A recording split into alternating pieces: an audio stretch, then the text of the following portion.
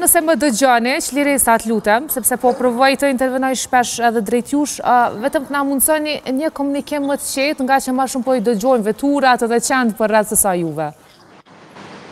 Mikrofonin që keni të vendosur, më afër apo të afroheni drejt kamerës?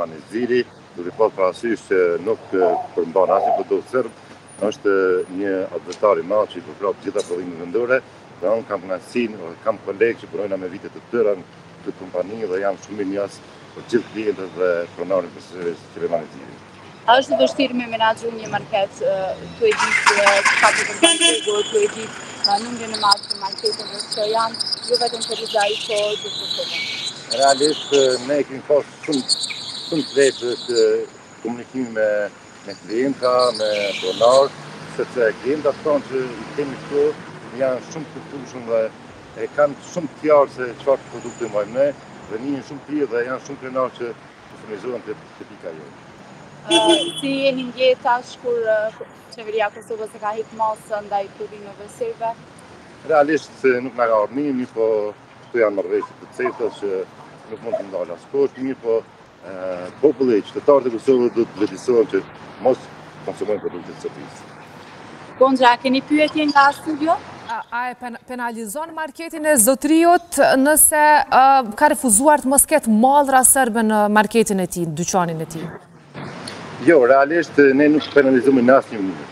Pavarësisht çfarë ndodh me me me doganë me kufi, ne vetëm se rritet klientela, rritet qarkullimi, klientët tanë ka me vite të tërë që as nuk i njohin qendrat tregtare tjera, e lëre më të shkojnë të furnizohen. është i vetëmi Plus Marketi që vizitohet dhe ndjehen sikur shpi t'veten kur vijnë të furnizohen te. Por është një hall edhe i tregtarëve tjerë që mallrat serbe kur po vijnë tash në Kosovë, po bijnë me një çmim ma të lirë, edhe konsumatori normal e kqyr në të shpeshtë çmimin. A ju dëmton juve kjo që mallrat serbe mund të jenë me çmim më të lirë? Realisht, unë dje kontaktova me një tregtar, edhe të njëjtën pyetje ma bëri edhe ai. Tha, mirë që u liru taksa, tha se po më vijnë produktet prej Serbisë. U ndjeva keq, të drejtën.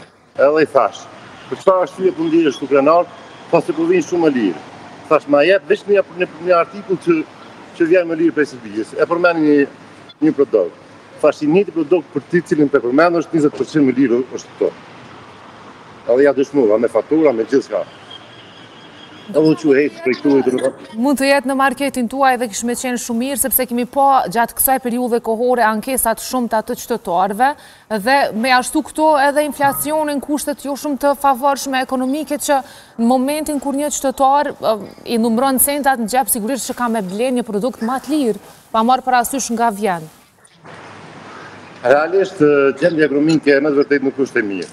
Çmimet pak i kanë ngritë të gjitha produktet. Mirëpo, është kriza e punëtorëve. Janë shumë faktorë që ndikojnë në ngritjen e çmimeve. Po të jeni të sigurt, unë punoj që njëzet e pesë vite në këtë kompani. Edhe i përcjelli të gjitha produktet. Produktet vendore janë për njëzet për qind deri në pesëdhjetë për qind më lirë se produktet e importit. Edhe kanë një kualitet jashtëzakonisht mirë edhe shumë janë më më të freskëta më stabile për ushqim, më pak konzervu s'kanë, për për atë jam shumë sigur që janë shumë më cilësore. Gjithmonë jemi në mbështetje të prodhuesve vendorë me sa arrijmë, gjithmonë në përkrahje, në promovim të tyre, dhe um, unë ju përgëzoj shumë për këtë iniciativë që keni marrë, po më vjen shumë mirë që mirëpritet edhe nga qytetarët e Ferizajt. Shpresa, nëse s'keni diçka tjetër për me shtu,